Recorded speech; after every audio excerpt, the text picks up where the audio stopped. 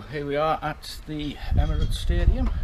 Stadium capacity 70,000. Fantastic stadium this one was built to uh, replace Highbury a few years ago.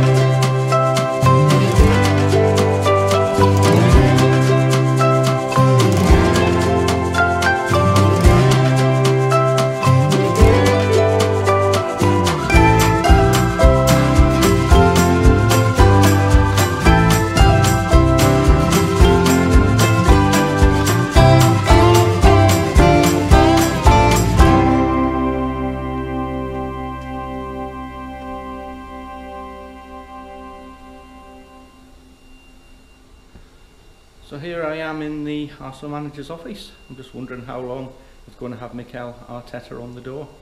Shame they're having a, a poor start to the season, but you never know whose office this might be.